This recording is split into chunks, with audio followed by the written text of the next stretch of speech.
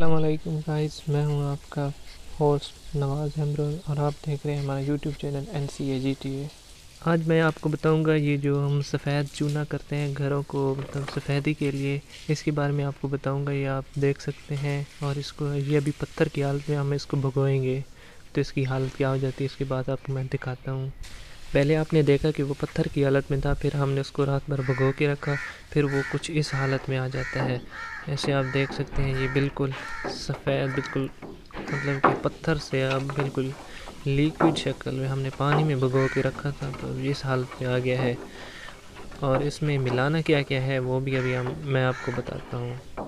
सबसे पहले आपने ये लेना है नील। आपने दुकान से ले लेना है तीस बीस रुपए का तो तो ये नील आपने थोड़ा सा डालना है आपके हिसाब से जितना आपके पास चूना होगा तो। इसके बाद आपको मज़ीद बताता चलूँ कि आप इसमें नमक का भी यूज़ कर सकते हैं, जो कि अच्छा है। अगर करना चाहें तो कर सकते हैं।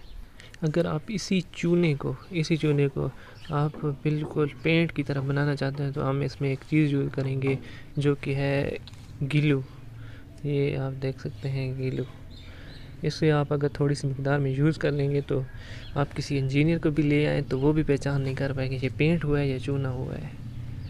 फिर आप मज़ीद क्या कर सकते हैं? ये मैंने एक सब्ज़ रंग का कलर है जो कि अभी बना के रखा है। इसे आप कैसे बना सकते हैं? वही जो चूना मैंने पहले बनाया था, उसी को इधर डालेंगे।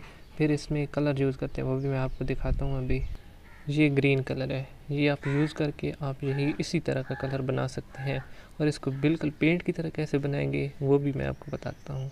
जैसे कि हमने उसी चूने में यूज़ किया था बिल्कुल पेंट बनाने के लिए तो हम इसमें भी गिलू का यूज़ करेंगे। थोड़ी सी मकदार, याद रखना थोड़ी सी मकदार। और मैंने अब एक और रंग भी बनाया है जो कि रेड कलर में है तकरीबन।